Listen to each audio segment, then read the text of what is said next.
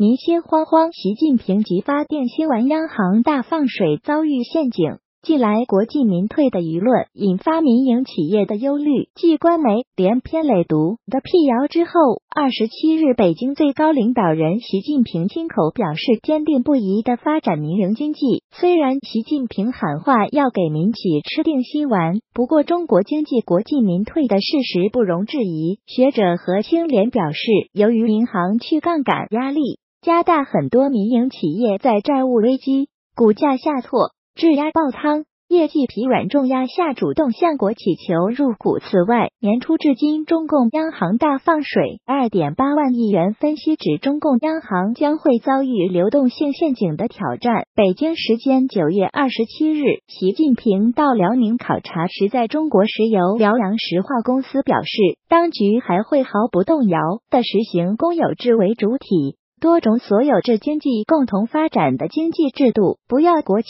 或搞小国企的论调是错误的。另外，习近平在辽宁中旺集团考察时说，中共中央始终关心民营企业，毫不动摇的继续支持民营经济发展。对这一点，民营企业要进一步增强信心。他也对民营企业提出要求，要他们心无旁骛，为实现当局的两个一百年目标做出贡献。赞助商链接，赞助商链接。虽然习近平喊话要给民企吃定心丸，不过中国经济国进民退的事实不容置疑。此前曾在国企管理层任职的吴小平发表博文称。民营经济应该逐渐离场，给新型公司混合制经济让位。该文立即掀起轩然大波，引发民间对中共又一轮公司合营、抢劫民间财富的恐惧。民企现绝境，投入国企怀抱旅美学者何清莲表示，二零一五年颁布国有企业改革方案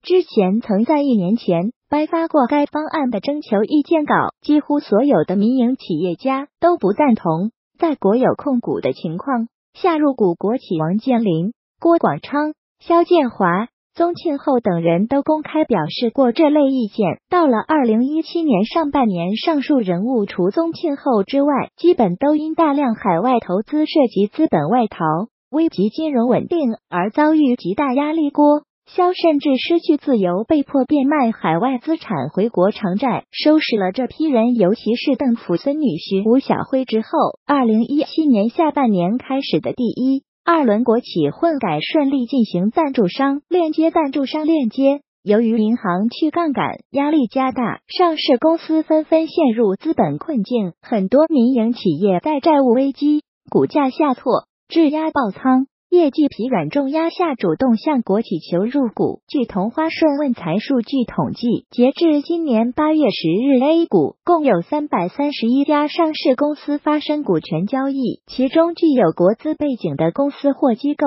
的占比达百分之三十五点三四。券商中国统计，仅九月上半月已有六家上市公司计划向国资转让股份，控制权包括玉金刚石、英唐智控、环能科技。怡亚通、孟网集团、华英农业。值得注意的是，在国资作为受让方的股权转让中，超过百分之五十八点零六的转让方式为无偿转让或行政划拨。北京金一文化发展股份有限公司发布公告，趁大股东以一元转让股权，公司实际控制人变更为北京海淀区国资委。香港苹果新闻二十六日报道。最近这一年中，至少有一百二十三间在香港上市的中国公司建立了中共党组织，并通过修改公司章程，赋予公司党委凌驾于董事会的权利，其中有国企，也包括私企。九月放水超八千亿元，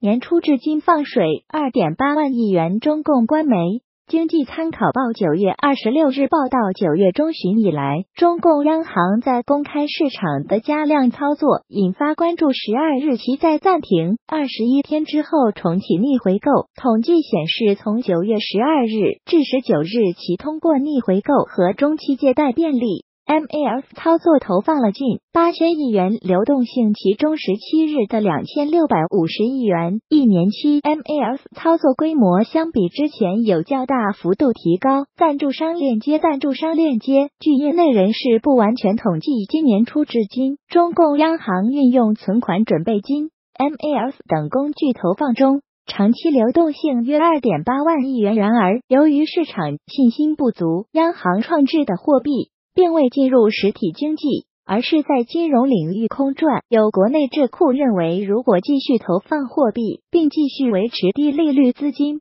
仍然无法进入实体经济的话，央行。将会遭遇流动性陷阱的挑战。中共央行的挑战，流动性陷阱四为环球金融智库九月二十五日发表研究报告。尽管货币基金的收益率在持续走低，但是资金对于货币基金的青睐却是愈演愈烈。近几个月，货币基金迎来高速增长。截至七月底，中国境内发行的货币基金规模。已超过八点六万亿元，占整个公募基金规模逾六成。单月增幅来看，整体公募基金七月环比增长超一点一万亿元，而其中约九千三百亿元来自于货币基金。最近两年，随着中国金融市场的演变，投资者风险偏好非常低，他们对于风险资产采取回避的态度，从追求高收益到追求安全，是居民投资心态的一大转变。这就是说。